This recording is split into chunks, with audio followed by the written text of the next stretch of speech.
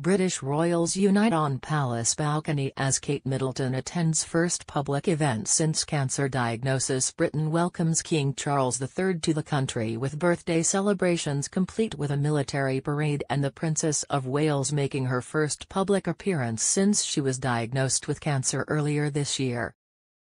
London, Britain welcomed King Charles III to the country on Saturday with birthday celebrations complete with a military parade and the Princess of Wales making her first public appearance since she was diagnosed with cancer earlier this year. The annual event was also a show of stability for the monarchy after a difficult few months in which both the King and Kate Middleton, wife of heir to the throne Prince William, have been away for cancer treatment. In a symbolic show of unity, Prince Charles, Camilla, Prince William, Kate Middleton and their children joined other members of the royal family on the balcony of Buckingham Palace at the end of the King's birthday parade. Family members waved to the gathered crowds and watched the military plane fly over, concluding the King's official birthday celebrations. In March, she announced she was undergoing chemotherapy for an unspecified type of cancer. It was Kate's first public appearance since December. I am progressing well, but as anyone undergoing chemotherapy knows, there are good days and bad days, Kate said in a statement on Friday, adding that she still has several months of treatment to go. Kate said she is not out of the woods yet, and sources stressed that Saturday's engagement does not mark a full return to public life. Every June, Huge crowds gather for the birthday parade, also known as Trooping the Colour. The parade starts with a procession of horses, musicians and hundreds of soldiers in ceremonial dress from Buckingham Palace.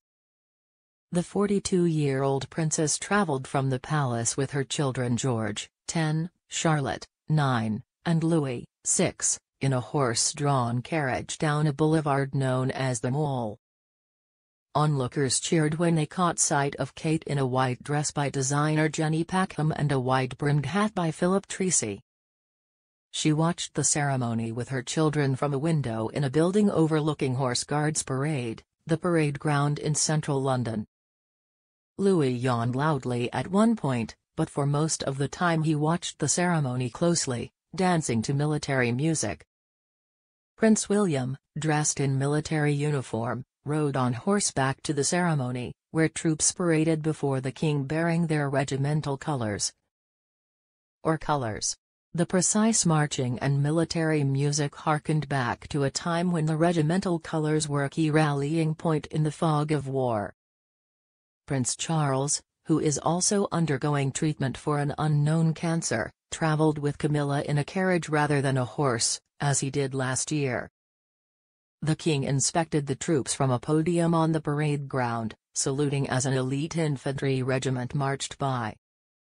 Five regiments take turns parading in their colors, and this year it was the turn of the Irish Guards Company, of which Kate is an honorary colonel. Dressed in scarlet tunics and bearskin hats, the unit arrived on the parade ground led by their mascot, Seamus the Irish Wolfhound.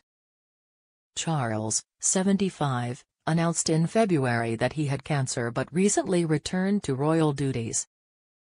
Last week he took part in ceremonies marking the 80th anniversary of D-Day, the June 6, 1944, invasion of Nazi-occupied Europe. Following one of the many peculiarities of British royal tradition, Saturday is not the actual king's birthday, but rather November. Like his mother, Queen Elizabeth II, Prince Charles' official birthday is the second Saturday in June. The date was chosen because the weather was generally fine in London on Saturday, which turned into a blustery, rainy day, albeit with early morning sunshine. The rain held off for most of the ceremony, but it began to fall as the assembled military escorted the king's carriage past the drenched but enthusiastic crowd and back to Buckingham Palace. Blue skies briefly returned as the family stepped out onto the balcony to watch the Royal Air Force's Red Arrows aerobatic team fly over them, sending up clouds of red, white and blue steam. Thousands of royal fans, wearing raincoats and carrying umbrellas, cheered, while some anti-monarchy protesters chanted Not My King. Viewer Joseph Afrane.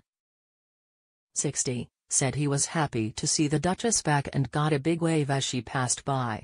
It was amazing when I heard it on the news yesterday, he said. I thought, thank God, they brought Kate back, because she's such a hard worker. Spectators who braved the unsettled weather were treated to a splendid and precise performance involving one, 400 soldiers, a 250-man military band and more than 200 horses.